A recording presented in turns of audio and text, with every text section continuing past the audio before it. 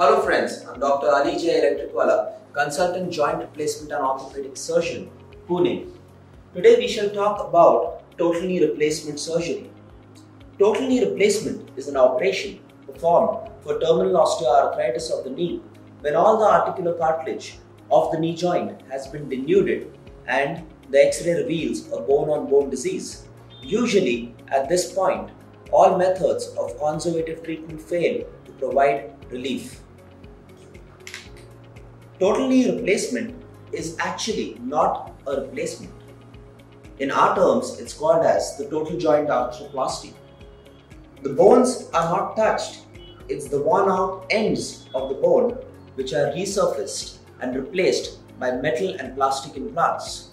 There are two components to the total knee joint.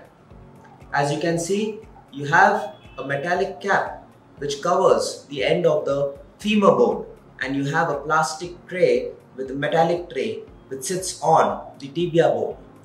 This ensures smooth, friction-free movement of the knee joint, removing the root problem. The duration of the surgery is essentially 45 minutes to 1 hour. The operation is performed under tourniquet control which minimizes any blood loss that may be happening during the surgery. The operation may be done under spinal or general anesthesia.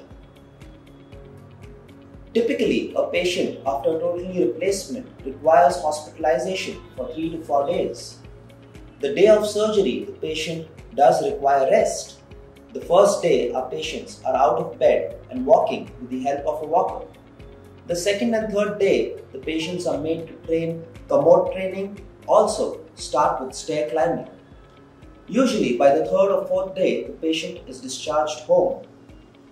The operative pain is minimized by use of multimodal analgesia.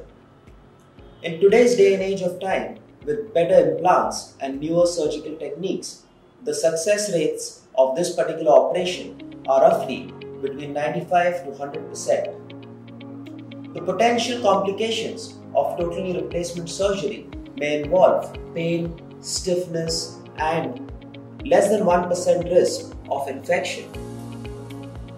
Usually, at the end of one month, the patient is able to ambulate and get back to all his routine activities without any support. Usually, at the end of three months, our patients forget about their operation and they get moving with their lives.